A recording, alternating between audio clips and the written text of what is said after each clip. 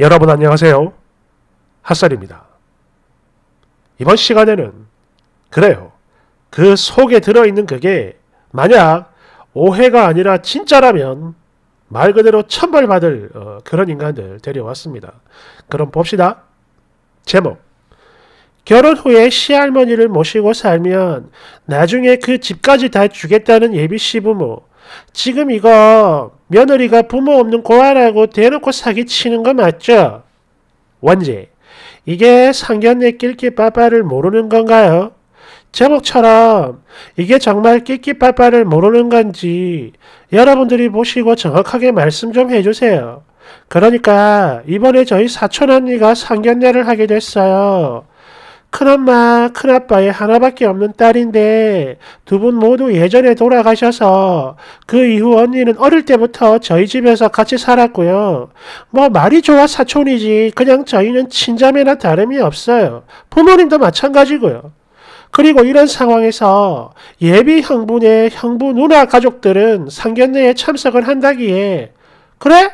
그럼 나도 갈게 라고 했거든요. 원래는 갈 생각이 없었지만 저쪽 집안 다 나온다고 하니까 저도 같이 가주는 게 언니를 위한 거라고 생각을 한 거거든요. 형부, 이제 남자 누나만 오는 게 아니라 남편, 애들 다 데려온다는 겁니다.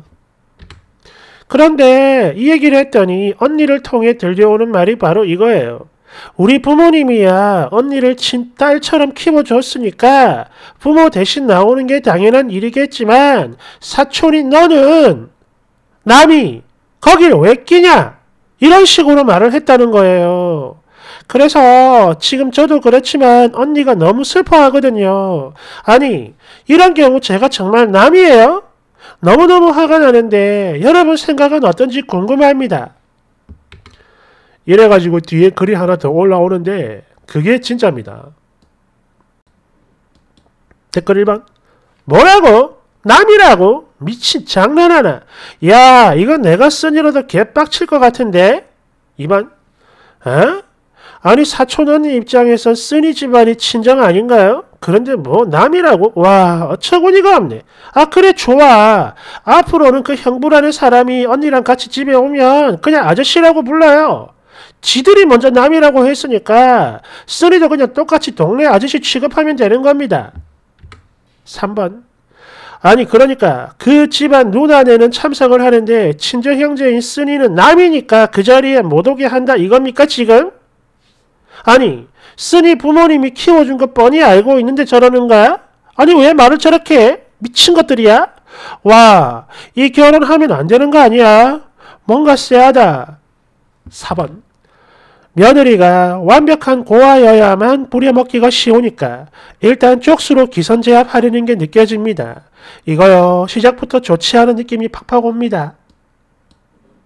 5번 벌써부터 선을 딱 긋고 예비 며느리 고아 취급해가며 저그들 집안 입주 도우미로 앉힐 개수작질로 보입니다. 예, 이 거지 같은 것들이 지금 이게 말이야 똥이야. 아씨 열받네.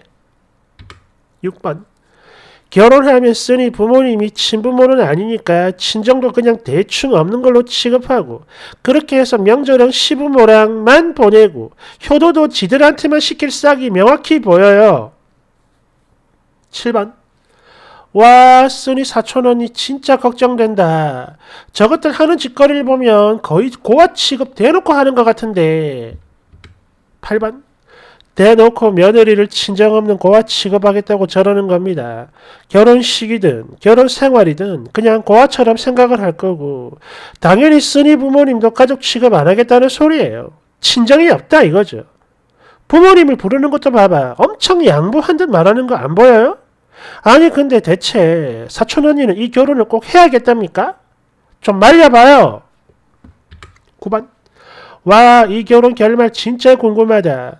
뭐 다른 댓글들이 이미 내 속에 있는 말 다 해줬으니까 저는 그냥 조용히 후기만 부탁드릴게요.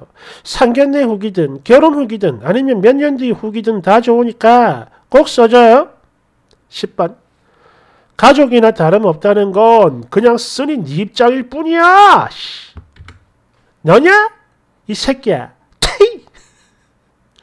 이래가지고 약 3개월 뒤 후기가 올라옵니다. 이틀 전에 올라온 거예요. 여러분 그동안 다들 안녕하셨나요? 저는 두 달 전, 아니 거의 3개월 전이죠.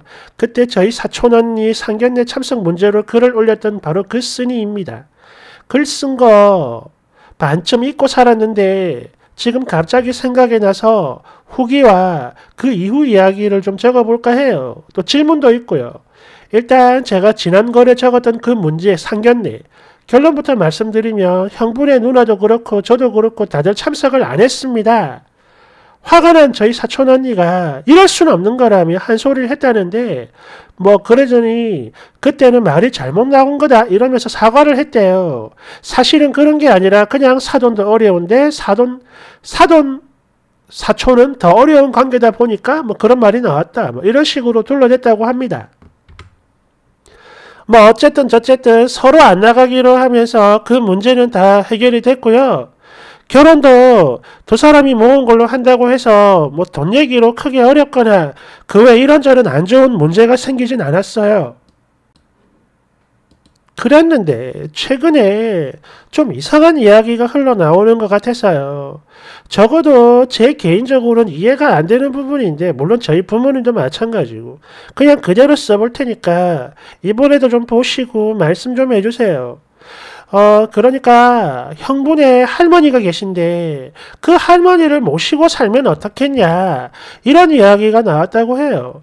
그리고 그렇게만 하면 나중에 그 할머니 집은 손자인 형부가 온전히 물려받을 수 있대요. 즉 할머니가 돌아가시면 말이죠.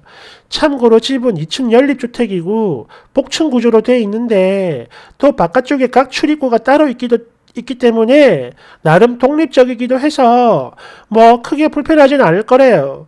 또 그 할머니도 비록 연세는 많지만 거동에는 전혀 문제가 없고 또 일주일에 두 번 정도 형부 고모님이 와서 당신 엄마인 할머니 모시고 목욕도 가고 또 같이 종교 활동도 하고 그런데요. 그렇기 때문에 계속 지속적으로 신경을 써가며 따로 돌봐드려야 하는 그런 건 아니라고 하거든요. 여하튼 여기서 언니가 그 할머니를 모시고 살겠다 하면 신혼집이 될 2층을 아예 싹 수리부터 리모델링까지 다 해주겠다고 약속을 했대요. 그래서 지금 고민이 된다고 하는데요.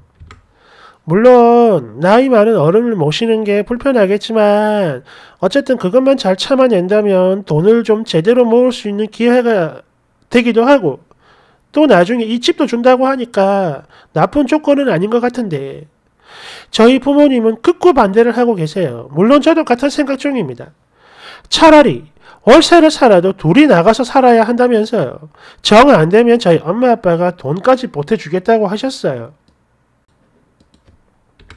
당신들 수중에 여유자금이 몇 천 정도는 있거든요. 일단 뭐 대충 여기까지 진행이 됐고요. 대략적인 결혼 날짜를 정하고 지금은 두 사람이 식장을 알아보고 있는 것 같은데 계속 언니가 지금도 그 할머니 댁에 가서 사는 걸 고민하고 있어요. 그 지역이 아직 재개발이 된다거나 하는 말은 없지만 그래도 추진을 하고 있는 중이라 뭐 10년 안에 땅값이 오를 거라고 하는데 사실 제가 지금 반대를 하는 입장인 건 맞지만 이런 것들 잘 모르거든요. 그래서 조언 하나 제대로 못 해주고 듣고만 있는 입장이에요. 너무 답답합니다. 조언 좀 해주세요. 댓글 1번 와 이런 띠발. 내가 이럴 줄 알았다니까. 어서 말려요. 니네 언니 그 집에 기어 들어가는 순간 바로 노예 확정이라고. 2번 뭐? 나중에 그 할매 죽으면 그 집을 물려주겠다고? 연병.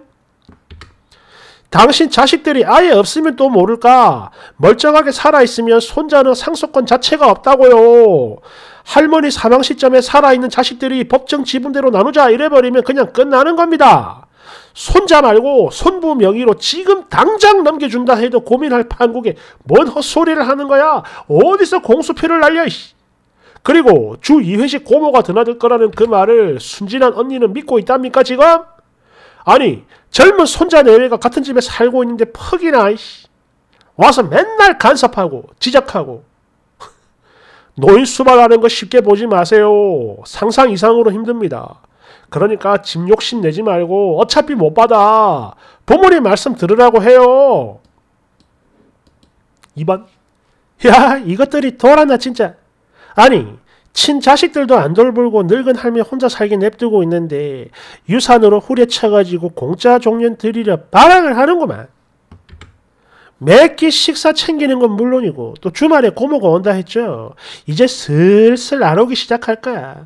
그러다 보면 언니가 어디 주말에 나갈라 쳐도 눈치 보면서 죄송한데 할머니 어쩌고 저쩌고 이렇게 해야 돼. 아니 죄송한 게 없는데 죄송해하며 살아야 한다고요. 차라리 간병인이면 돈도 받고 또 자기 부모한테 함부로 대하고 그만둔다 할까 싶어 겁이 나가지고 대우라도 잘해주지. 니네 언니는 도대체 뭡니까? 유산 같은 소리하고 자빠졌네. 그럴 거면 남자네 부모가 들어가서 할머니 모시고 살다가 그 유산 받고 나중에 당신들 죽을 때 달라고 해요. 이 거지 같은 것들이 지금 어디서 머리를 굴리고 있는 거야? 3번. 이 결혼 무조건 말려야 됩니다. 만약 못 말리면 사촌언니 부모님들 하늘에서 피눈물 흘리실 거예요. 할머니 살아 생전 증여를 하는 거라면 또 몰라. 손자한테 나중에 상속을 한다고? 절대 안 됩니다. 하늘이 두 쪽 나도 안 돼요. 아니 그렇게 하려면 그 이전에 시아버지 및 형제들 그 자손들까지 다 도장을 받아야 가능한 건데 그게 되겠냐고. 너 같으면 찍어줄 거예요? 그리고 시 어른 될 사람들 진짜 못해 처먹었네. 자기들 손으로 안 모시고 며느리한테 친부모 없다고 시할머니 몸종으로 드릴 생각을 하고 있다니. 헐, 벌 받지. 4번. 아니 멀쩡히 살아있는 자식들 모조리 패스하고 바로 손자한테 상속을 하겠다고? 그것도 지금 당장 해주는 것도 아니고 모시고 살다 나중에 죽으면? 깔깔깔. 야, 아니 요즘도 이런 그지 같은 사기에 속는 사람들이 있나 그래? 어? 5번. 이야, 이래서 고아 며느리 보려고 그랬던 거구나. 저것들은 이미 다 계획이 있었던 거네. 까딱하면 결혼이고 뭐고 다 엎어질 것 같으니까 상견례 남자 누나 가족들 못 오게 막은 거야. 6번. 에휴, 며느리한테 부모, 며느리한테 부모 없다고 대놓고 저런 속임수를 쓰고 있네. 아우, 못돼 처먹은 것들. 저러다 언젠가는 벼락 맞지. 7번. 제가 재밌는 거 하나 알려줄까요? 만약 지금 당장 증여를 받는다 해도 할머니가 10년 이내로 돌아가시면 상속 재산으로 포함되기 때문에 그쪽 삼촌이나 고모들이 유류분 청구 얼마든지 할 수 있습니다. 다 뜯겨요. 8번. 야 며느리한테 부모님 없다고 진짜 막 나가는구만. 아니 이것들은 하늘이 안 무섭나? 헐. 그냥 공수표 날리는 것만 해도 믿음이 안 가는데 이 암 내용과 같이 생각을 해보면 너무 어, 좀 섬찟하지 않습니까? 나만 그런가? 음. 야, 야, 이건 아닌 것 같은데. 음. 아무튼 그래요. 감사합니다.